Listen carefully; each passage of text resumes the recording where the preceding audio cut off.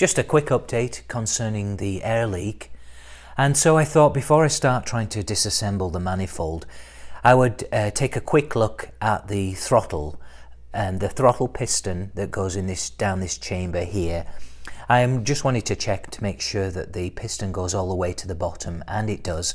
Uh, what I did was I took this hose off here um, so removed the boot, well the clip first of course, and then looked inside here uh, just from this side just to see if the piston was bottoming out okay and it was.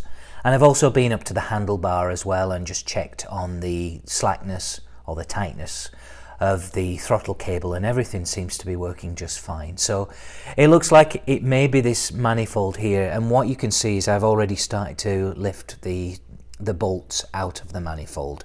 What I did do was I soaked those screws in penetrating oil for quite a number of days. Actually, it's been over a week.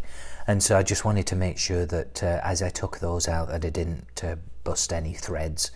And so they, they came out pretty easily. Uh, I think it was a 10, 10 millimeter socket wrench just reaching down here. And then actually while the bike was still hot, I uh, untightened those as well. And you can see how that's moving. Um, I haven't disturbed it in any other way. I haven't tapped it or anything. All I've done is I've unscrewed these uh, these manifold bolts.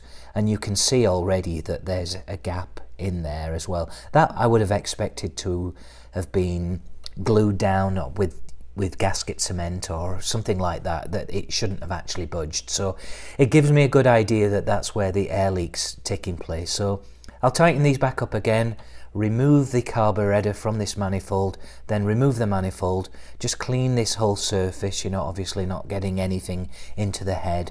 And then I'll apply some gasket cement or I'll just see if I can maybe even make a gasket before uh, reseating these bolts and then trying again